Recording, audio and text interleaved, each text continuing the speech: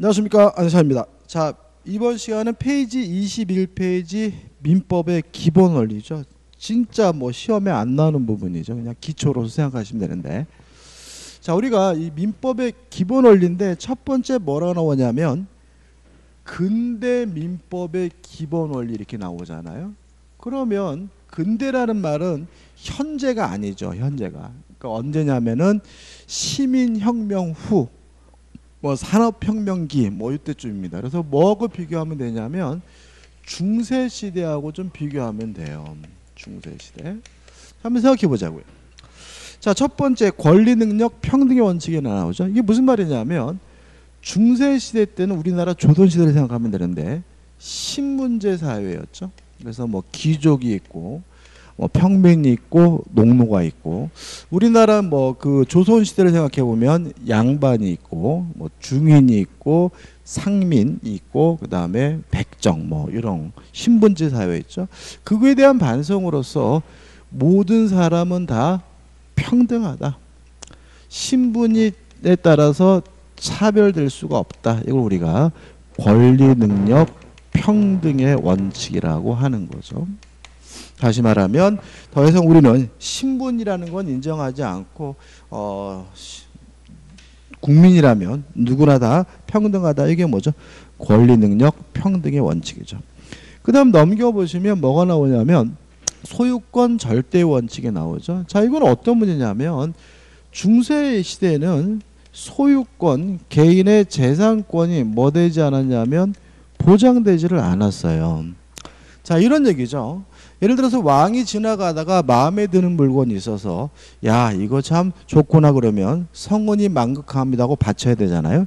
다시 말하면 중세 시대는 개인의 재산권이 보호되지 않았고요. 국가나 왕이 필요하다면 개인의 재산을 아무렇게나 뺏을 수 있는 시대였는데 그에 대한 반성으로서 국가라 하더라도 왕이라 하더라도 개인의 소유권을 박탈할 수 없다. 개인의 재산권을 배제할 수 없다. 이걸 우리가 소유권 절대의 원칙이라고 하는 거죠. 그 다음에 또 어, 중서 시대에는 음, 개인의 사적인 자유가 보장되지를 않았습니다. 요거에 대한 반성으로서 사적이고 개인적인 일은 개인이 알아서 하고 국가가 간섭할 수 없다. 사적 자치의 원칙이라고 하는 거죠. 자, 이게 무슨 말이냐면 자, 우리가 지방자치란 말은 뭐예요? 지방의 일은 중앙정부의 간섭 없이 지방 스스로가 알아서 하는 걸 우리가 지방자치라고 하잖아요. 그러면 사적 자치라는 것은 결국 뭐라고 말하냐면 사적이고 개인적인 일은 국가의 간섭이 없이 스스로 알아서 한다. 이게 뭐예요? 사적 자치 원칙인 거죠. 자, 과거에는 그런 자유가 없었습니다. 예를 들어 가지고 왕이 야, 니들 둘이 결혼해 그러면 결혼해야 되잖아요. 가장 사적인 일 혼인도 누가요? 국가가 개입하고 개, 아, 국가가 개입하고 왕이 개입했잖아요. 그거에 대한 반성으로서 사적이고 개인적인 일은 국가의 간섭 없이 스스로 한다. 이게 뭐죠? 사적 자체의 원칙인 거죠. 그 다음 마지막으로 과실 책임의 원칙이라는 게 나오죠. 자 이게 뭐냐면 중세 이것과 대비되는 제도는 뭐냐면 연자제죠. 자 우리 사극보험 많이 나오죠. 어, 어 뭐죠? 영모를 저질렀어요. 그러면 그 행위를 한 어, 큰아버지뿐만 아니라 사돈의 팔자까지 다 뭐죠? 처벌을 받았는데 이런 걸 우리가 뭐죠? 연자자라고 했죠. 다시 말하면 아무런 고의도 없고 과실도 없는데도 불구하고 다른 사람의 행위로 인해서 뭘 받습니까? 처벌을 받았단 말이죠. 그거에 대한 반성으로서 그 행위에 대해서 고의나 과실이 있어야지만 처벌할 수 있다. 고의나 과실이 있어야지만 책임을 부과할 수 있다. 이걸 우리가 과실 책임의 원칙이라고 하는 거죠. 자, 이러한 원칙에 따라서 뭐가 형성이 되냐면 자본주의라는 것이 형성이 되게 됩니다. 그렇지 않나요? 뭐 가장 대표적으로 요 소유권 절대원칙을 가지고 말씀드리면 이런 거죠. 자 중세 시대에는 열심히 일해가지고 재산을 축적할 이유가 없는 거예요. 왜냐하면 제가 열심히 일해가지고 재산을 축적하더라도 국가가 저의 재산을 아무 때나 뭐 할 수 있어요? 뺏어갈 수 있다면 뭐하러 재산을 모으겠어요. 근데 이제는 시대가 바뀌어가지고 국가라 하더라도 왕이라 하더라도 개인의 재산을 함부로 뺏을 수 없다는 원칙이 정착되게 되면 이제 사람들은 열심히 뭐 하겠습니까?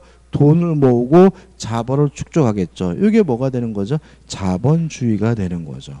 자, 근데 이렇게 해가지고 이런 일이 벌어지면 모든 사람들이 다 행복할 줄 알았어요. 근데 실제로 이런 상태에서 현대 사회에 들어와 보니까 이게 그렇지가 않다는 거죠. 다시 말하면 법적으로 모든 사람은 평등하다라고 규정해 놓으면 진짜 평등할 줄 알았는데 현대 산업사에 들어와서 보니까 있는 사람은 강자고 없는 사람은 약자고 법적으로는 평등하지만 실질적으로는 평등하지 않더라. 그래서 권리 능력 평등의 원칙이 형식적 평등이 아니라 실질적인 평등을 추구하게 되고요. 그 다음에 소유권이 절대적으로 보장된다라고 하다 보니까 결국은 공공복리에 부합하지 않는 거죠. 그래서 이제는 공공복리라는 대원칙에 따라서 국가가 공공복리라는 차원에서 개인의 재산권을 제한할 수 있다는 원칙으로 수정이 되는데 이걸 우리가 소유권의 상대화라고 하죠.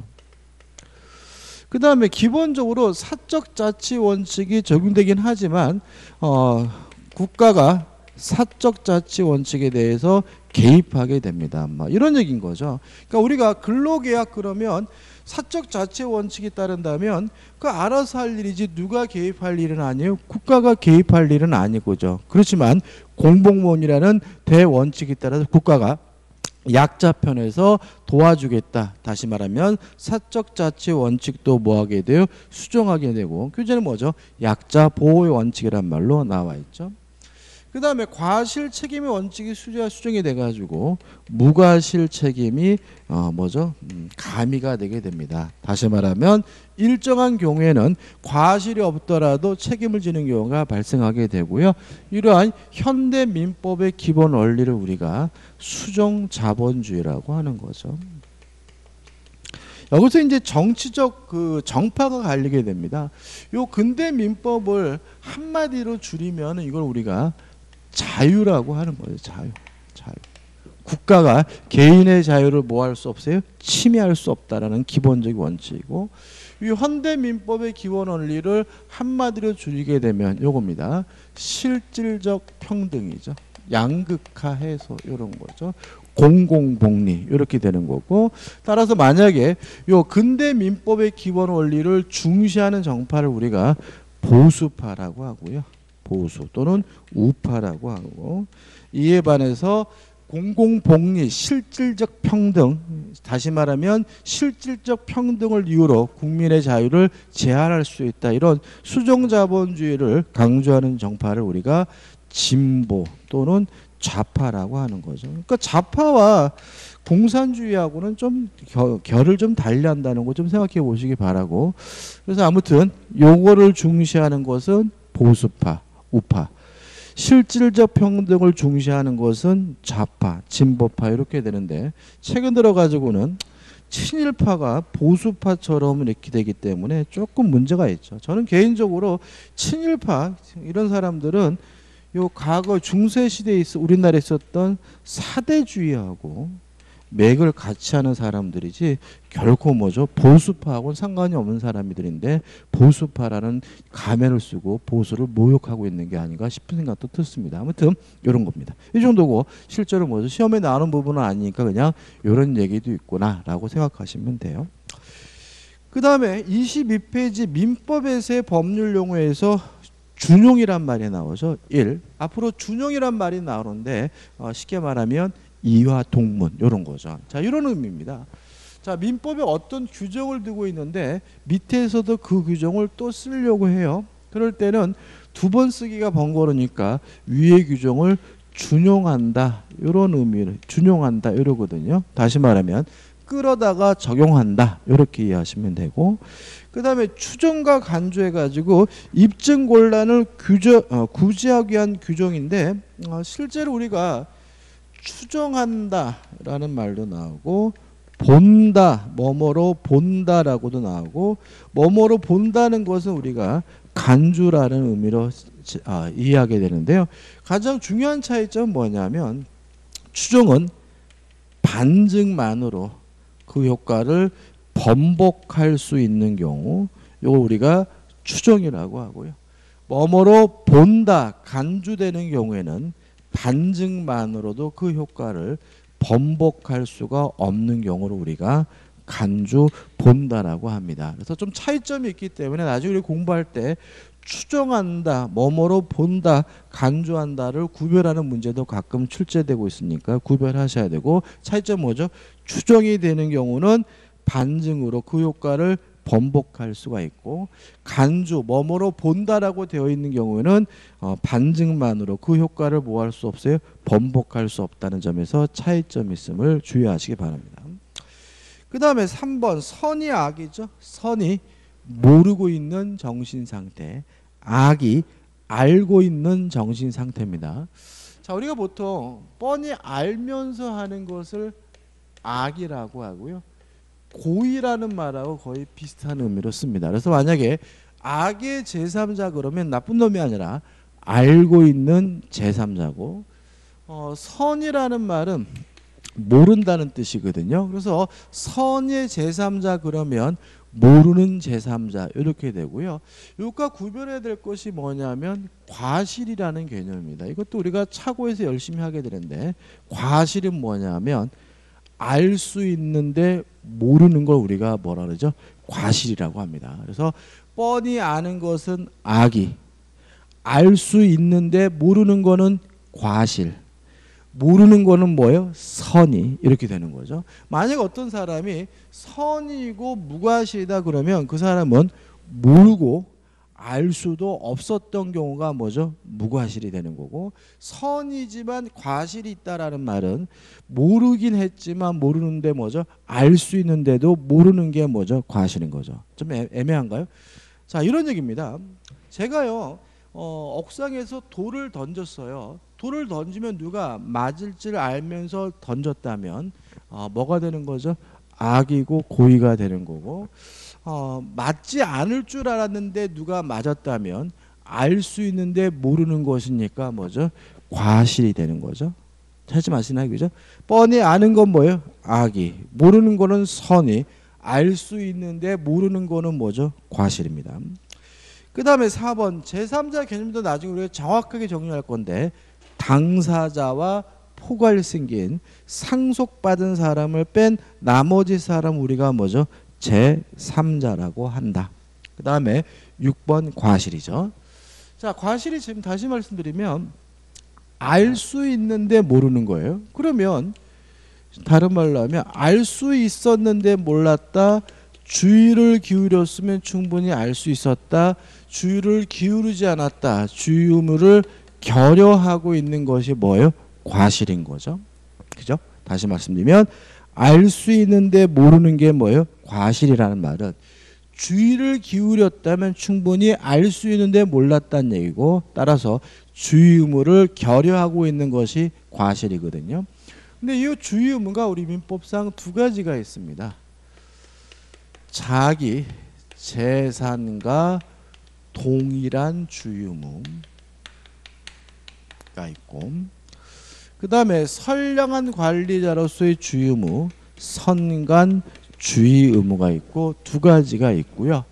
뭐 교재 보시면 굉장히 복잡하게 나와 있어요. 뭐 추상적 경과실 해가지고 선관주의 의무를 결여하고 있는 것이 추상적 음, 경과실이다.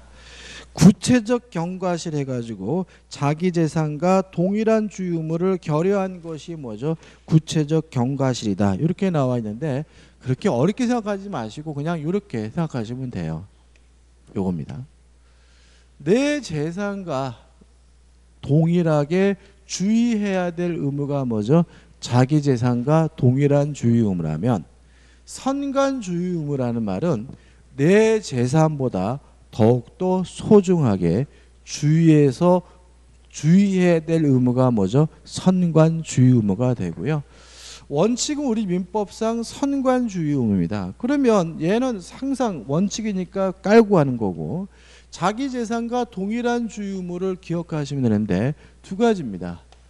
친권자와 그 다음에 무상 임치 계약의 수취인입니다. 자, 친권자는 뭔지 아시죠? 그죠? 아, 친권자는 미성년자의 재산을 관리해 주게 되는데 어떻게 주의해서 관리해 주면 되냐면 내 재산과 동일한 주의 의무를 기울이면 되고요. 임치 계약이라는 것은 물건 보관 계약을 말하거든요. 그래서 무상 임치라는 말은 꽁꼬로 남의 물건을 보관해 주기로 하는 계약이 무상 임치 계약인데 요 무상 임치 계약에서 물건을 보관해 주는 사람을 수취인이라고 해요. 이 사람은 어떻게 해요? 자기 재산과 동일한 주의 의무를 기울여야 되고요. 물론 유상 임치 계약이라면 유상이면 그때는 선관 주의 의무를 부담하게 됨을 주의하시기 바랍니다. 그 다음에 중과실에 나와 있죠. 이거는 주의 의무를 단순히 결여한 정도가 아니라 현저히 결여하고 있는 것을 우리가 중과실이라고 합니다. 다시 말하면 단순히 알 수 있는데 모르는 건 과실. 누구든지 당연히 알 수 있는데도 불구하고 모르는 것은 우리가 중대한 과실이라고 합니다. 끝이죠. 그 다음 민법에 효력해서 때에 관한 효력인데 이런 말 들어보셨나요? 음, 법률 불소급의 원칙. 이게 무슨 말이냐면 법률의 효과는 과거로 뭐하지 않느냐면 소급하지 않는다 이런 얘기입니다. 자, 왜 그러냐면 자, 예를 들어서 요 시점에서 어떠한 행위를 했어요. 행위를 했는데 그러고 나서 나중에 법이 만들어졌거든요. 근데 이 법이 요 행위를 규제하는 법인데 이 법의 효과가 과거로 소급을 해서 옛날에 이루어진 행위까지 위법한 것이고 처벌한다면 우리는 일정한 행위를 하고자 할 때 미래에 만들어지는 법까지 고려해서 행동을 해야 된다면 그것은 기대할 수가 없는 거죠. 따라서 법의 효과는 과거로 소급하지 않고요. 미래에 대해서만 효과가 주어지는 것이 원칙인데 이러한 원칙을 우리가 법률 불소급의 원칙이라고 합니다. 이게 원칙이에요. 근데 우리 민법은 요게 적용되지 않는다.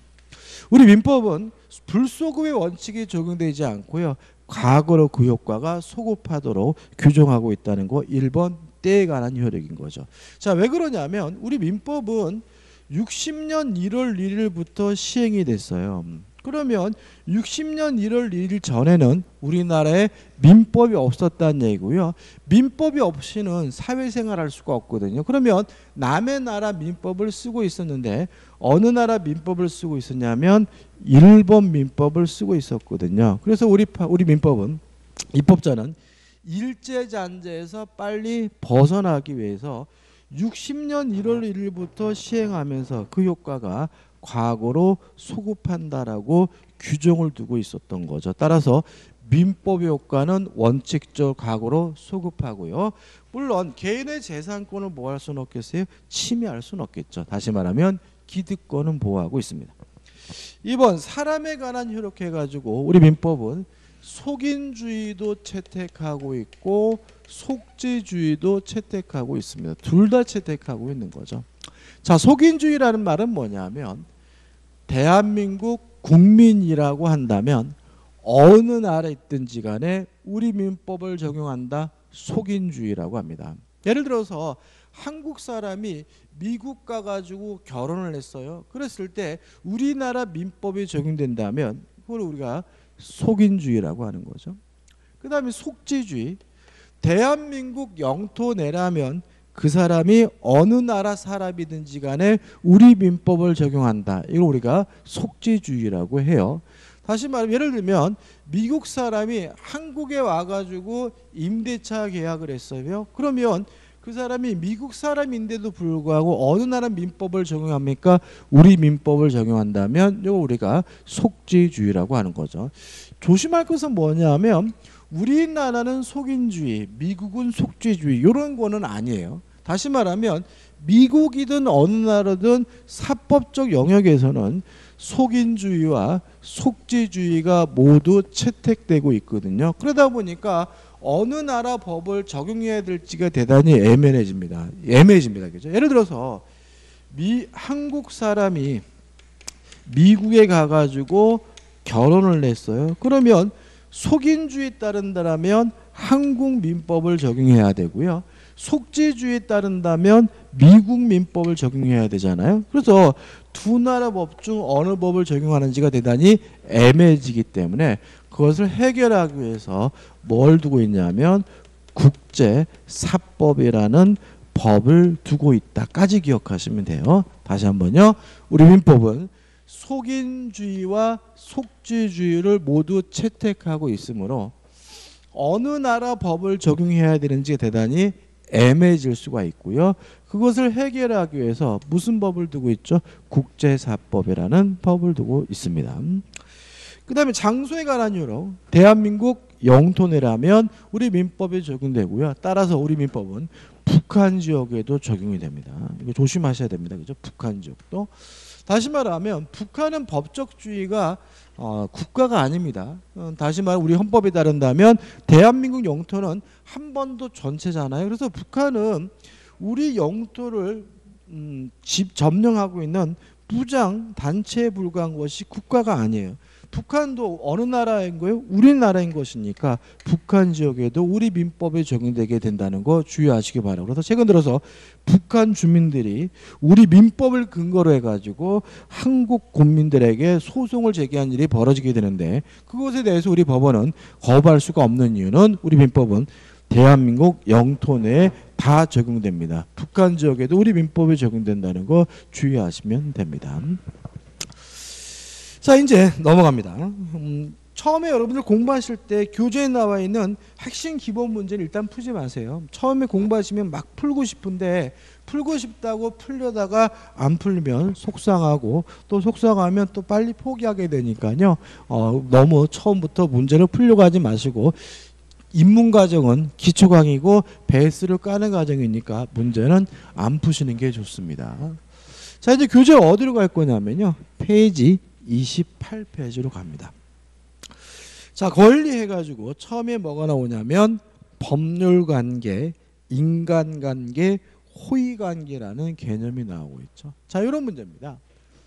자, 우리 살면서 여러 가지 관계를 맺게 되는데 이런 관계를 통칭해서 생활 관계라고 합니다. 이러한 생활 관계는 다시 크게 둘로 나뉩니다. 법률 관계와 인간관계로 나뉘게 되죠. 나누는 기준은 뭐냐면 법에 의해서 규율되는 관계를 법률 관계라고 하고요. 법이 아닌 나머지 것들, 법이 아닌 도덕이나 친분, 뭐 종교 등으로 규율되는 관계를 우리가 인간 관계라고 하고요. 특징은 법에 의해서 규율되는 법률 관계는 권리와 의무를 발생시키는 데 반해서 법이 아닌 나머지 것에 의해서 규율되는 인간관계는 권리와 의무를 발생시키지 않는다는 점에서 특색이 있습니다. 여기서 조금만 뒤에 거를 먼저 보면 의무라는 말은 뭐냐면요. 의무라는 말은 반드시 이행을 해야 할 법적인 구속을 우리가 의무라고 합니다. 따라서 해도 그만 안 해도 그만 그거는 뭐가 아니에요? 의무가 아니고요. 반드시 해야 되는 것만 뭐가 되냐면 의무가 되거든요. 그럼 여기서 뭘 할 수 있냐면 법에 의해서 규율되는 법률 관계는 권리와 의무를 발생시킨다는 말은 반드시 이행해야 된다는 얘기고요. 안 하면 법적 제재가 따른다는 얘기고요. 법이 아닌 나머지 것에 의해서 규율되는 인간관계는 권리와 의무를 발생시키지 않는다는 말은 이행해도 그만 안 해도 그만 상관이 없다 이런 의미가 되는 거죠. 예를 들어 제가 돈 50만 원을 빌렸어요. 반드시 갚아야 됩니다. 안 갚으면 법적 제재가 따르죠. 따라서 돈을 빌리는 것은 뭐가 되는 거죠? 법률 관계가 되는 거죠. 근데 만약에 제가 제 친구하고 서울역 앞에서 오후 3시에 만나서 영화 보기로 했거든요. 근데 오후 3시에 만나기로 했는데 이 인간이 안 와요. 안 온다 그래도 제가 그 친구한테 어떠한 법적 제재를 가할 수는 없죠. 다시 말하면 오후 3시에 만나서 영화 보기라는 것은 권리와 의무를 발생시키지 않은 거니까 뭐가 되는 거죠? 인간관계가 되는 거죠. 이해되시죠? 근데 인간관계 관련돼서 조심해야 될 것은 뭐냐면 29페이지 오시면 호의관계가 나와요. 자, 많은 인간관계가 있는데 인간관계 한 가지 예로서 호의관계라는 게 있습니다. 호의관계라는 말은 뭐냐면 조로쩌니까 좋은 뜻으로 좋은 의사로 상호 간에 이익을 주고받는 관계를 우리가 호의 관계라고 하고요. 호의 관계도 인간관계 한 가지 예이기 때문에 법적인 권리와 의무를 발생시키지 않는다는 점에서는 똑같아요.